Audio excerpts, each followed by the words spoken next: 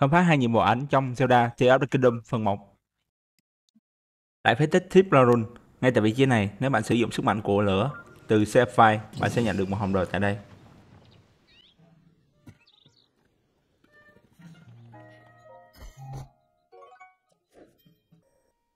Tiếp đến, ngay tại vị trí này, nếu bạn sử dụng sức mạnh của nước Sapphire, bạn sẽ nhận được một hồng đòn ngay tại gần đó.